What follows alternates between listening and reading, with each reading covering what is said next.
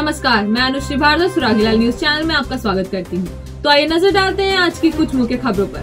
आज रात पृथ्वी के पास से गुजरेगा एस्टेरॉइड एक किलोमीटर लंबा है एस्टेरॉइड उल्कापिंड विश्व भर के खगोल वैज्ञानिक रहेंगे सतर्क। आज कांग्रेस में होंगे शामिल हरिक रावत। तीन भाजपा विधायक भी हो सकते हैं शामिल। अब खबरें विस्तार से। पिछले 24 घंटों में कोरोना के चार हज़ार चार सौ बयासी नए केस आए। छह लोगों की मृत्यु हो गई और कुल एक हज़ार आठ सौ पैंसठ लोग ठीक हो गए। चुनाव का बिगुल बच चुका है और पार्टियों में दल बदल की राजनीति और उठापटक जारी है। आज प्रेस कॉन्फ्रेंस करते हुए डॉक्टर रमेश पोखरियाल निशंक ने कहा, बीजेपी अनुशासन वाली पार्टी है और जिस तरीके से प्रधानमंत्री नरेंद्र मोदी जी बेहतर कार्य कर रहे हैं। हरक रावत पर बोलते हुए निशंक ने कहा, यह कार्यकर्ता आधारित पार्टी है, व्यक्ति आधारित पार्टी नहीं है। इसीलिए किसी के आने और जाने का कोई फ़र्क नहीं पड़ता। परिवारवाद की राजनीति यहाँ नहीं होती, पार्टी का अनुशासन लगातार बना रहना चाहिए। संवाददाता मनोज कुमार की रिपोर्ट। मैंने उमेश काऊ से पूछा तो उन्होंने तुरंत कहा कि मेरी अभी कुछ पत्रकार मित्रों से भी बात हुई। कोई सोच, मैं तो कल्पना नहीं कर सकता, भारतीय जनता पार्टी में हूँ, भारतीय जनता पार्टी में ही रहूँगा। तो कई बार क्या है, ज़बरदस्ती कुछ ऐसा परिवेश बनाने की कोशिश होती है। तो मैं ये सोचता हूँ कि हम इन छोटी बातों में कभी न उलझे हैं, न उलझना चाहते हैं, न उलझेंगे। हमारा लक्ष्य बड़ा है, साठ पार करने का है। इस प्रदेश का बच्चा बच्चा भी भारतीय जनता पार्टी के साथ है और इसलिए हम भारी बहुमत से अपनी सरकार को बनाए मौसम विशेषज्ञ रोहित थपलियाल ने बताया कि उत्तराखंड में 19 जनवरी से मौसम बिगड़ सकता है। 19, 20 और 21 जनवरी को बारिश बर्फबारी की संभावना है। 21 जनवरी के बाद तेज बारिश हो सकती है। सर मैं आपसे जानना चाहूँगा कल 19 जनवरी से बताया जा रहा है कि मौसम में एक बदलाव दिखाई देगा कि बारिश भी रहने वाली है। क्या कुछ मौसम विभाग की जानकारी है सर? देखिए आज जो है 18 तारीख हो गई है तो आज तो उत्तराखंड में मौसम साफ़ है। जी। कल से एक जो पश्चिमी विक्षोभ के कारण जी। उत्तराखंड के जो आंतरिक ज़िले हैं खास करके उत्तरकाशी चमोली पिथौरागढ़ रुद्रप्रयाग जी। वहाँ पे कहीं कहीं हल्की वर्षा की संभावना है। जी। तो ये एक्टिविटी 19 20 21 को उन्नीस बीस खास करके दो दिन तो आइसोलेटेड रहेगी हिल्स में वो भी जो है आंतरिक जिलों में। जी। उसके बाद जो है 21 में भी जो एक्टिविटी 22 से जो है एक्टिविटी बढ़ेगी रेनफॉल की।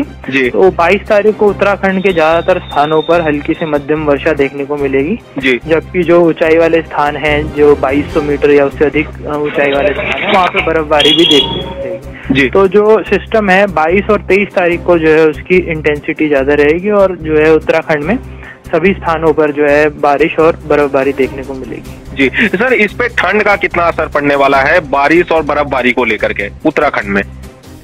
देखिए अभी जो अगला सिस्टम आएगा और खास करके वो 22 से जो इफ़ेक्ट करेगा उत्तराखंड को जी। तो दिन के समय में क्योंकि बादल रहेंगे बारिश होगी तो उसकी वजह से मैक्सिमम टेम्परेचर में कमी आएगी जी। जिसकी वजह से जो है ठंड जो है वो खास करके जो दिन के तापमान है उनमें गिरावट देखने को मिलेगी जी। उसकी वजह से जो ठंड बढ़ने की संभावना जी, ठीक है सर, बहुत बहुत धन्यवाद आपको, आपका जानकारी देने के लिए। काशीपुर कोतवाल मनोज रतूड़ी ने बताया, जिलाधिकारी उधम सिंह नगर के आदेश से हिस्ट्री शीटर आरिफ पुत्र निवासी मोहल्ला अली खां का थाना काशीपुर तथा हिस्ट्री शीटर नईम और बाबा पुत्र अब्दुल रहमान निवासी मोहल्ला महेशपुरा थाना काशीपुर को अग्रिम छह माह के लिए महोदय के आदेश से जिला बदल किया गया, जिस पर कोतवाली पुलिस द्वारा नियमानुसार कार्रवाई की गई, एवं छह महीने के लिए जिला बदर हेतु सूर्य बॉर्डर पर छोड़ा गया। 2022 विधानसभा चुनाव के दृष्टिगत हमारे क्षेत्र में काफ़ी थाना क्षेत्र में जितने भी गुंडे और बदमाश हैं, इनके विरुद्ध हम हमारे द्वारा वैधानिक कार्रवाई की जा रही है, जिसके तहत आज जिलाधिकारी महोदय के आदेश से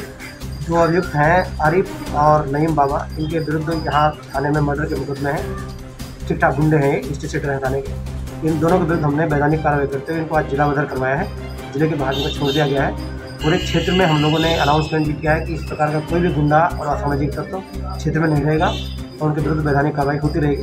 जिला बदर करवाते रहेंगे ऐसे कितने लोग और चिन्हित हैं आपके कितने क्या है कुछ है ऐसा? है हमारे चौकी प्रभारी इस काम में लगे हुए हैं। हम एक एक करके चिन्हित चिन्हित कर रहे हैं वैधानिक कार्रवाई उनके खिलाफ करते जाते हैं। कोहरे के चलते बढ़ रहे सड़क हादसों व अवैध खनन की रोकथाम को लेकर। काशीपुर कोतवाल मनोज रतूड़ी ने कुंडेश्वरी चौकी में क्षेत्र के स्टोन क्रेशर स्वामियों की बैठक की। उन्होंने स्टोन क्रशर स्वामियों को हिदायत देते हुए कहा कि सूर्योदय से पहले और संध्या के बाद खनन सामग्री नहीं खरीदेंगे।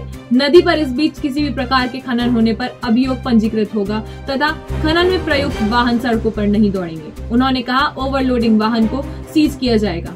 इस अवसर पर एसएसआई प्रदीप मिश्रा, कुंडेश्वरी चौकी प्रभारी ओम प्रकाश आदि मौजूद थे।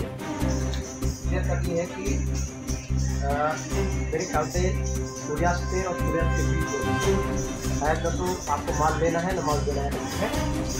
ठीक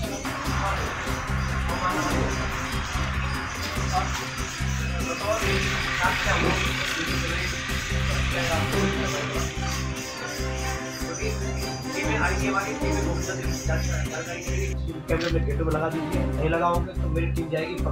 ये सर आज कुंडेश्वरी चौकी में जो स्टोन क्रशर स्वामियों की जो मीटिंग आप ले रहे हैं, इसका क्या कारण है?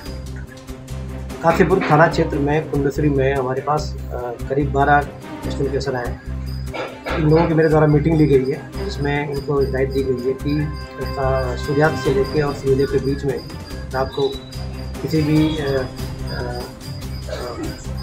नदी खनन खनन के सामान को न लेकर देगी और अपना खनन में भी कोई जंपर को किसी को देते भी हैं तो वो अंडर लोड रहे और वैधानिक प्रक्रिया के तहत खनन की कार्रवाई करवाएँ चटपटी है। खरी ज़िंदगी, मीठी मस्ती भरी ज़िंदगी। चटखारों से भर जाए सारा अंतर्मल।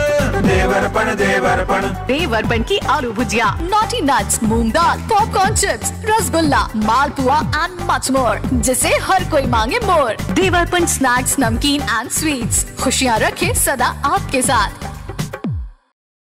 शिक्षा मंत्री अरविंद पांडे ने रुद्रपुर में पत्रकारों से मुखातिब होते हुए भाजपा से निष्कासित हरक सिंह रावत पर जमकर हमला बोला। उन्होंने कहा कि जो नेता राजनीति में अपने बच्चों को स्थापित करने का काम करते हैं उनका कोई ईमान धर्म और दल नहीं होता है। जो कि एक बहुत बड़ा प्रमाण है। मैं आपको विश्वास दिलाना चाहता हूँ कि आने वाले आने वाले में अपने इतिहास है। कांग्रेस के कई नेता आप पे आरोप लगा रहे हैं कि आपने अपने रिश्तेदारों को सरकारी नौकरी में जॉब में लगाया है। मैंने आपसे पहले ही कहा कि जो लोग आरोप लगा रहे हैं उनको भाई खड़े होने के लिए जगह चाहिए नहीं चाहिए। तो जो हमको नौ दिखता है वो उनको छः दिखता है। तो वो विरोध के नाते अच्छा जनता में किस बात पे जाएँगे वो ये बताओ? आरोप भी उसी पे लगाएँगे जो बेदाग हो। अब अर्जी फर्जी चलते फिरते पे आरोप क्यों लगाएँगे वो? मैं देखो भाई, वहाँ का विधायक हूँ, मंत्री हूँ। आम जनता ने तय कर लिया है कि अरविंद पांडे को पांचवी बार कम से कम चालीस हज़ार वोट से जिताना है। तो उस पर आरोप लगाने तो आएँगे यार, विपक्ष के लोग हैं, उसको मैं क्या टिप्पणी करूँ उनके लिए? बहुत से बड़े बड़े लोग, बहुत बड़े बड़े लोग। देखो भाई, जो लोग अपनी बेटी, बेटा को स्थापित करना चाहते हैं, उनका कोई ईमान नहीं होता, उनकी कोई पार्टी नहीं होती है। मैं तो आम जनता से एक ही निवेदन करना चाहूँगा जो आम जनता को अपने पदों के लिए, अपने बेटी बेटाओं के पदों के लिए जो लोग दल को छोड़ते हैं, आम जनता को उनका बहिष्कार करना चाहिए, चाहे वो किसी दल के हों, चाहे मैं खुद क्यों ना हूँ। देवभूमि उत्तराखंड सफ़ाई कर्मचारी संघ के बैनर तले आंदोलन के दौरान बर्खास्त की गई सफ़ाई कर्मी ने आज मेयर आवास के समक्ष जमकर हंगामा किया। इतना ही नहीं नाराज़ सफ़ाई कर्मी मेयर के आवास तक आत्मदाह करने के लिए जा पहुँची। इस सूचना पर हल्द्वानी पुलिस में हड़कम मच गया और पुलिस ने मौके पर जाकर उक्त महिला को हिरासत में ले लिया। बताया जाता है कि करीब चार माह पूर्व विभिन्न मांगों को लेकर सफ़ाई कर्मियों ने देवभूमि उत्तराखंड सफ़ाई कर्मचारी संघ के बैनर तले आंदोलन किया था। इस दौरान हुई मारपीट के चलते नगर स्वास्थ्य अधिकारी हल्द्वानी डॉक्टर मनोज कांडपाल ने आठ सफ़ाई कर्मियों को तत्काल प्रभाव से बर्खास्त कर दिया नैनीताल जिला प्रशासन ने डॉक्टर्स फॉर यू नाम के एक एनजीओ से एमओयू किया है।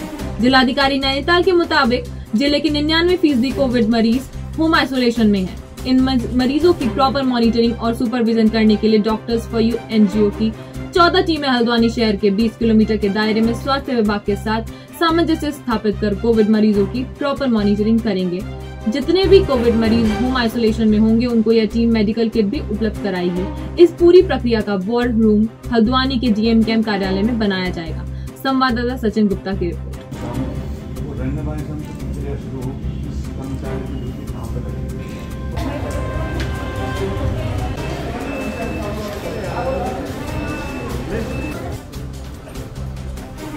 एनजीओ है डॉक्टर्स फॉर यू करके। इनके साथ एमओयू किया है तो डिस्ट्रिक्ट नैनीताल में। जैसा आप देख रहे हैं कि यहाँ पे अ, हमारे जनपद में खासकर कोविड के केसेस काफ़ी बढ़ रहे हैं।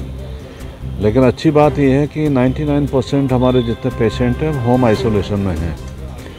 तो जितने भी पेशेंट हमारे या कोविड के पेशेंट अब होम आइसोलेशन में हैं, उनकी एक प्रॉपर मॉनिटरिंग हो उनको सुपरविजन सही ढंग से कर सकें, उसके लिए हम लोगों ने इनके साथ एक एमओयू किया है। तो इनकी चौथ टीमें जो हैं, हल्द्वानी के 20 किलोमीटर के रेडियस में, जिसमें आपका हल्द्वानी, मोटा हल्दू, आपका लाल कुआँ और नैनीताल के नीचे वाला पार्ट और काला डूँगी और धीरे धीरे हम पूरे डिस्ट्रिक्ट में इनके माध्यम से सारी मॉनिटरिंग करेंगे जो स्वास्थ्य विभाग के साथ सामंजस्य बनाते हुए जितने भी हमारे होम आइसोलेशन में पेशेंट्स हैं आ, उनकी प्रॉपर मॉनिटरिंग करेंगे और इनकी पूरी टीमें जिसमें डॉक्टर नर्सेज वगैरह शामिल हैं लगातार फ्रीक्वेंट अपने विज़िट पे रहेंगी और इन पेशेंटों को दवाइयों से लेकर पल्स ऑक्सीमीटर से लेकर सारी चीज़ें ये लोग मुहैया कराएँगे।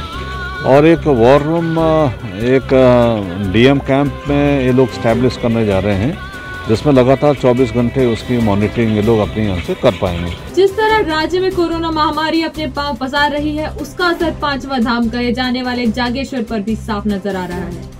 जागनाथ मंदिर के पुजारी कमल भट्ट ने कहा कि कोविड महामारी के मद्देनजर नियम सख्त हो गए हैं। ऐसे में दर्शन के लिए आने वालों की संख्या बहुत कम हो गई है। महामृत्युंजय मंदिर के पुजारी का कहना है कि मंदिर के अंदर जाँच के बाद ही दर्शन की इजाज़त दी जा रही है। ऐसे में जागनाथ धाम के पर्यटन व्यवसाय प्रभावित हो रहा है। शाम की आरती भी कोविड के नियमों के तहत ही की जा रही है। संवाददाता हेमंत सिंह मेहरा की रिपोर्ट। नागेश्वर धाम जो 125 मंदिरों का समूह है ये बहुत जागृत स्थान है। आत्मा ज्योतिर्लिंग है। नागेश्वर धाम का बने तो मकर संक्रांति के दिन इस स्थान का विशेष महत्व होता है जो चौदह जनवरी को रहता है। और भोलेनाथ लगभग पैंसठ सत्तर किलो रहते कमल यहाँ की घी की गुफा में एक माह के लिए तप करते हैं। ये पुराने जादवर माना गया है। कोरोना काल में पिछले वर्ष की भांति अभी हमें देखने मिल रहा है कि भक्तों की संख्या बहुत कम है यहाँ पर। उधम सिंह नगर जनपद में सीमांत खटीमा तहसील के अंतर्गत ग्राम सिसैया में नारद पुत्र स्वर्गीय शिवचंद की दो भैंसों की संदिग्ध परिस्थितियों में सोमवार की रात को मौत हो गई। वहीं एक दो वर्षीय पाड़ा की हालत गंभीर बनी हुई है। मृत भैंसों में एक भैंस वर्तमान में दूध दे रही थी।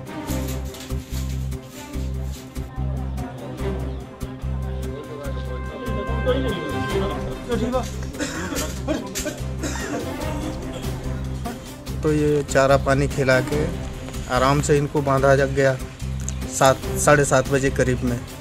उसके बाद जब हम सवेरे निकालने के लिए गए साढ़े छः बजे तो उसमें पहली नज़र पड़ी कि एक मेरी पड़िया मृत अवस्था में पड़ी है। फिर मैं भैंस की तरफ़ नज़र डाला तो देखा कि वो भी मृत पड़ी है। उनके बीच में बड़ी पड़िया खड़ी थी। तो फिर मैं चिल्ला के भागा। मैंने कहा कि अरे दौड़ो दौड़ो, ये क्या हो गया है जानवरों को? फिर एक पड्डा भी है तो उसको भी मैं देखा तो वो भी गंभीर अवस्था में रहा। इसमें तो हम सर बहुत परेशान हैं और काफ़ी हमारा क्षति हुआ है। आदर्श आचार संहिता के पालन में लाल कुआ पुलिस द्वारा अभियान चलाया जा रहा है, जिसके तहत लाल कुआ एसएसआई गगन काम्बोज व उनकी टीम ने चेकिंग के दौरान एक शराब तस्कर को बिना नंबर प्लेट के ऑल्टो कार में ले जाते हुए 125 लीटर कच्ची शराब के साथ गिरफ़्तार किया है।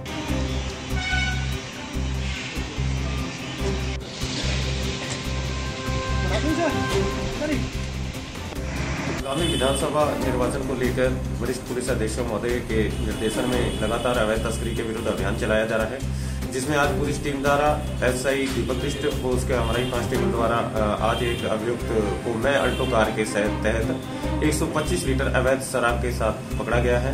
जिसमें अभियोग पंजीकृत किया गया है और मान्य न्यायालय में रिमांड प्राप्त किया जाएगा। यूकेडी प्रत्याशी एडवोकेट हरीश चंद्र राहुल ने बताया की भीमताल विधानसभा क्षेत्र के लगभग 50 प्रतिशत से अधिक क्षेत्र में दूरसंचार, पेयजल, सड़क व्यवस्था पूरी तरह से चरमराई हुई है।